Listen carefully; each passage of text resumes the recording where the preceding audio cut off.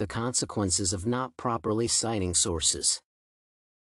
It is a significant academic integrity violation to fail to credit any sources, whether they were written, oral, or electronic. Failure to do so may result in a plagiarism charge, which is characterized as the use of any material, whether published or unregistered, without due credit or other indications of academic misconduct. Any action that unfairly influences the assessment of a student's academic achievement or success qualifies as academic fraud.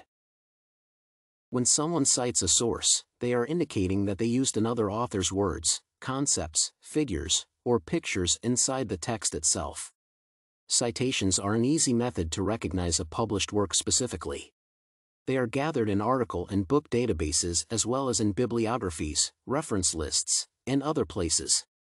Citations are made up of essential components and include all the details required to locate and identify publications depending on what has been mentioned and whatever style was used to construct them, citations may seem different. The reliability of the research and the author's reputation is undermined if a writer produces the article without providing sufficient citations to earlier studies, implying to the reader that they are unfamiliar with the literature on the subject.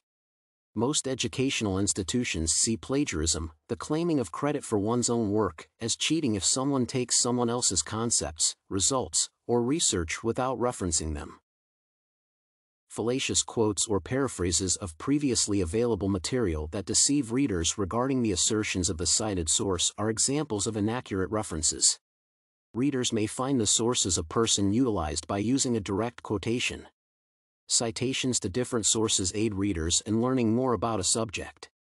A key component of learning and understanding is being able to find and use resources that support the study or give various interpretations of the studied subject.